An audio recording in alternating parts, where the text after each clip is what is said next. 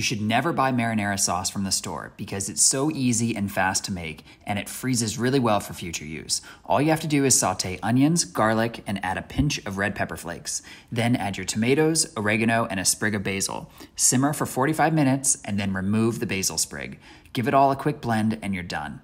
I like to store it in Ziploc bags in my freezer so that it defrosts fast and tastes as fresh as the day that I made it.